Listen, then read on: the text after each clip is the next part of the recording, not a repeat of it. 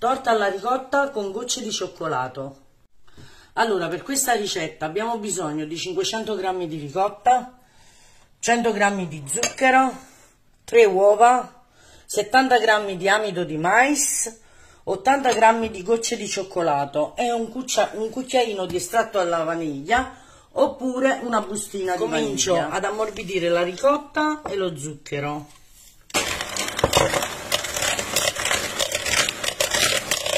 Aggiungo le uova.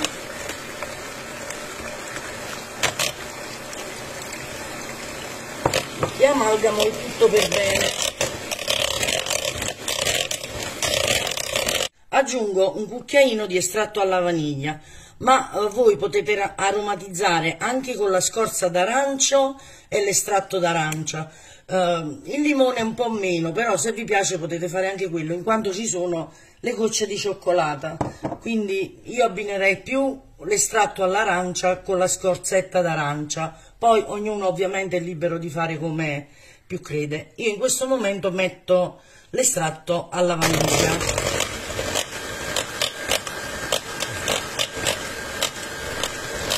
Aggiungo l'amido e lo setaccio. Vi ricordo che la torta è senza lievito.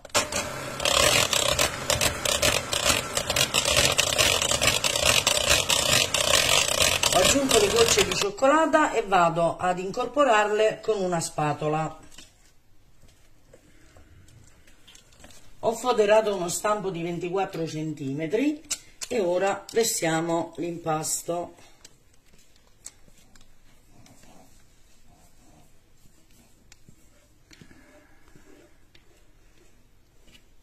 aggiungo sulla superficie qualche altra goccia di cioccolato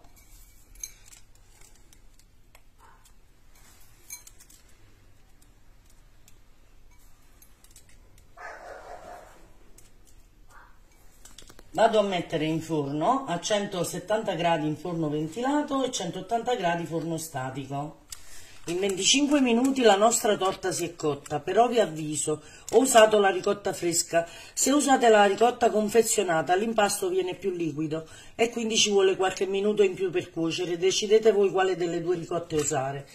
Adesso andremo a toglierla dallo stampo e vediamo com'è venuta.